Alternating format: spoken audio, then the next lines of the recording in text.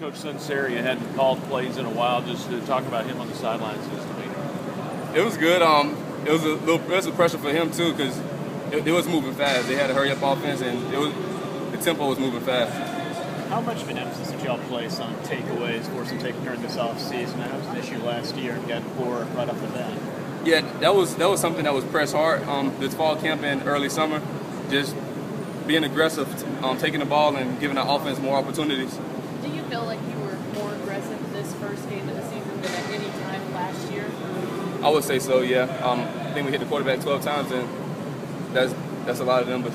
Do you just feel like that this type of defense plays more into what you're good at personally? Yeah, I would say so. Yeah, I enjoy rushing the passer, and they give me a lot of opportunity to do that.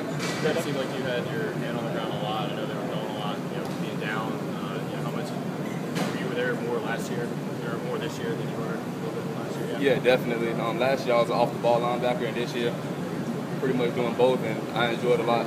Split time between you know, defensive linemen and the linebackers in practice, or is it all just linebacker? Um, linebacker and end, so split time, I would say.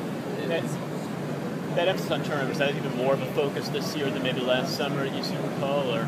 Yeah, I would think, I would say so. Um, last year, we, we emphasized it, but we didn't go out and get it done. And this year, it's a, it's a main focus. It's a big focus, affecting the quarterback and forcing turnovers. What's the main thing? Well, you think over 500 yards of offense in that opener. Um, you know the offense performed really well, and uh, we left we left a lot of things on the field out there. You know we corrected them today, but you know I think we were we were really happy with the game, and uh, it's they were a great team, so we're happy to come out with a great victory. Everybody didn't know what to expect from number 84. They knew he was pretty good. What were you thinking when you were watching this guy do his thing? Um, I, we, we knew he was a good player, and he came out with confidence, and uh, you know played his heart out. He had a great game, and we were all really excited about him, and uh, just really excited about the game he had. It was the first game for a, for a relatively new coach and a lot of new coaches on this staff. How did they do together and perform as a unit?